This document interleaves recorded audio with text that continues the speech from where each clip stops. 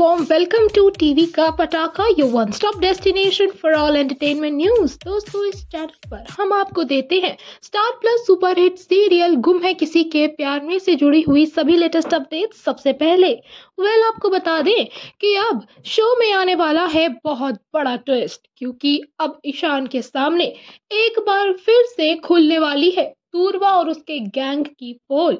ऐसा घटिया चेहरा आएगा सामने, जिसके बाद ईशान अपना आपा खो बैठेगा। उसे समझ ही नहीं आएगा कि आखिर उसकी बहन और उसकी गैंग को हो क्या गया है। वो क्यों तुले हुए हैं पूरे के पूरे कॉलेज में उनकी नाक कटाने के लिए? वेल यशवंत राव, निशिकांत तो यही सोच रहे हैं कि दूरवा अभी अभी बहुत बड़े सदमे से गुजरी है। तो उसको जैसी है वैसी रहने दिया जाए। वो जो कुछ भी बुरा करे, उसे करने दिया जाए। लेकिन दोस्तों, अब यहाँ पर ईशान सिखाएगा सबसे बड़ा सबक और किसी को नहीं, बल्कि आयुष को।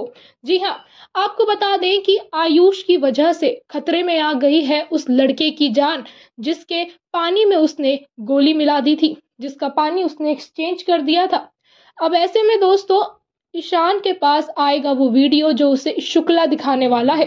शुक्ला जैसे ही उसे वीडियो दिखाएगा कि यहाँ पे आयुष ने कितना बड़ा घोटाला किया है तो उसे देखने के बाद ईशान का गुस्सा दसवें आसमान पर पहुँच जाएगा। उसे इतना गुस्सा आएगा कि वो सीधे दंदनाता हुआ पहुंचेगा ग्रीन रूम के अंदर और वहाँ पे आयुष की गर्दन दबोच लेगा। उसे थप्पड़ ही थप्पड़ मारेगा और कहेगा कि क्या तकलीफ़ क्या है तुम्हें?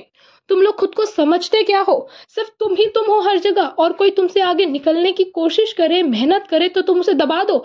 अगर इतनी ही ताकत है, इतना ही दम है, इतना ही दिमाग है तो अपने दम पर कुछ क्यों नहीं करते? दूसरों की मेहनत को खराब करके आगे निकलने में तुम्हें कौन सी बहादुरी दिखती है? ये कहकर पूरे कॉलेज के सामने इस तरीके से सिर्फ़ दूरवा और उसके पूरे गैंग को इतना जलील करेगा, इतना जलील करेगा, ईशान की आयुष और ईशान की लड़ाई हो जाएगी। आप लोग कहानी में इस नए ट्विस्ट के लिए कितने एक्साइटेड है? हमें कमेंट करके अपनी राय ज़रूर बताएँ। साथ ही वीडियो को लाइक शेयर और चैनल को याद से सब्सक्राइब कर लें।